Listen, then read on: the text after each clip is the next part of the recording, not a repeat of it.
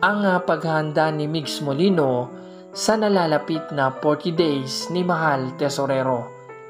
Usap-usapan ngayon sa social media ang ginagawang paghahanda o plano ng kampo ni Mix Molino sa nalalapit na 40 days ni Mahal Tesorero sa October 9, 2021. Bago nito ay uh, nag-post si Lani Kate Tesorero Tablate sa kanyang social media account.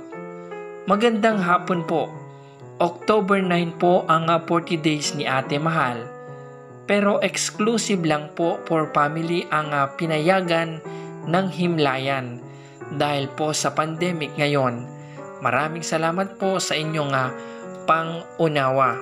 Samantala, nagbabala naman po ang uh, isang uh, grupo ng uh, Mamigs fans na wag po tayo basta-basta maniniwala di umano sa kung ano ang nakikita o napapanood po natin sa mga social media na mga videos.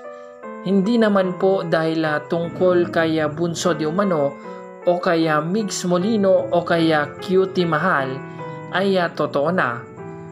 Ito na lang siguro ang isipin nating lahat dahil uh, kung hindi daw po galing kay uh, Mix Molino o kaya Tatay Jetro o di kaya kay Jason Tesorero o sa pamilya nila na personal na nagsasabi ay wag daw pong maniniwala agad sa mga kumakalat ngayon sa social media partikular na po sa YouTube. Pinagkakaperahan di umano o ginagamit lang ng iba si Bunso o Mix Molino Samantala, dumako naman po tayo sa ibang uh, balita. Nagpasalamat po ang uh, Glemo Production sa dami po ng uh, order o tumangkilik sa iniendorsong uh, pabango ni Mix Molino. Matatanda nga naging popular o sumikat lalo si Mix Molino dahil po sa tambalan nila ni Mahala Tesorero.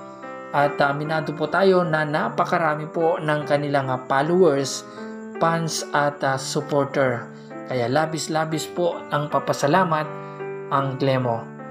Maraming maraming salamat po sa inyong uh, panonood. Huwag po natin kalimutang mag-like, mag-share at mag-subscribe.